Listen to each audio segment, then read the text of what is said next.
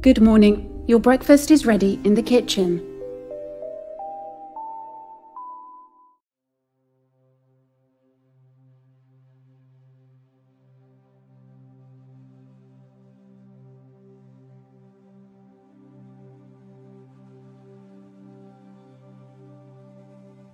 Your mother has left you a message.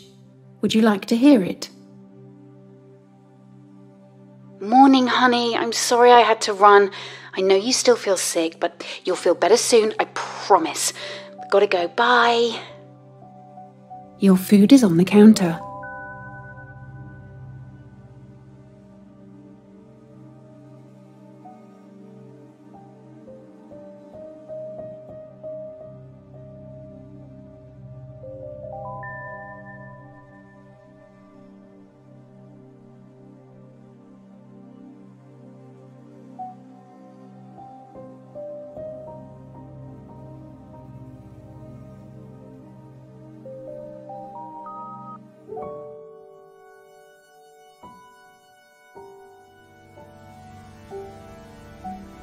Tasker, what is this?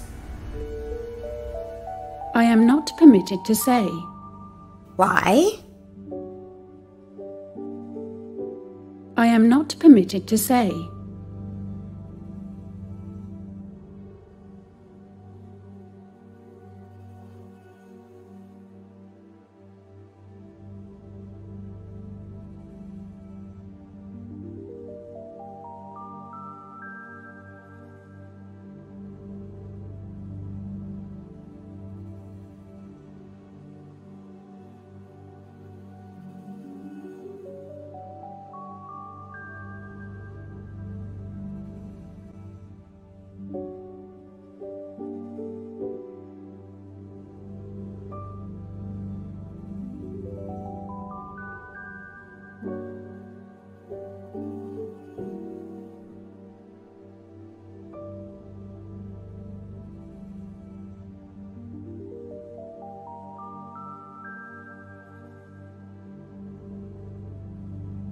A date.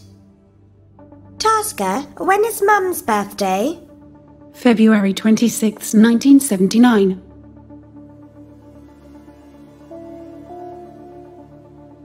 Not, not, not authorized. Not authorized.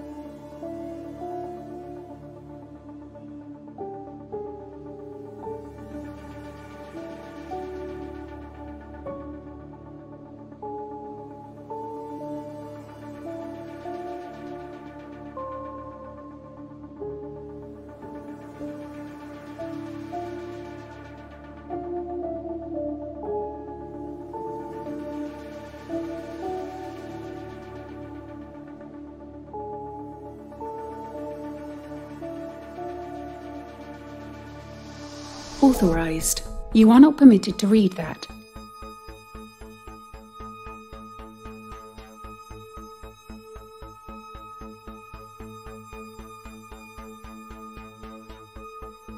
I am warning you.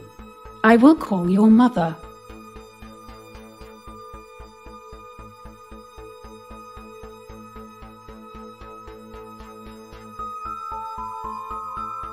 Your mother is on the line. Ollie? Ollie, sweetheart? What, what, what are you doing? I was just trying to find a game to play, don't worry. Are you sure? Yes. Okay. Well, look, I'm on my way home, sweetheart, so stay off my computer until then and stay out of my room, please.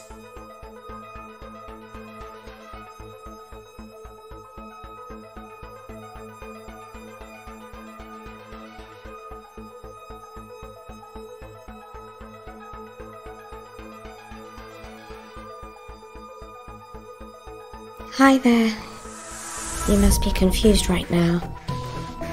You can probably tell from my voice, but I'm you. Right now, I'm being prepped for my euthanasia. But at the time you're listening to this, I'm dead. You're an exact replica of me built by the robotics company Olsen Tech.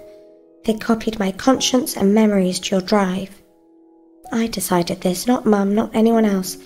I decided it for Mum, so she can still have me after my death.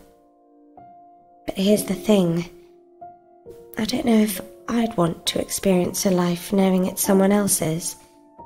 Which means I don't know if you'd want that. You are not entirely me. For one thing, you're not actually paralyzed. You're a robot that's been programmed not to walk. You are you. That's why I'm presenting you with a choice.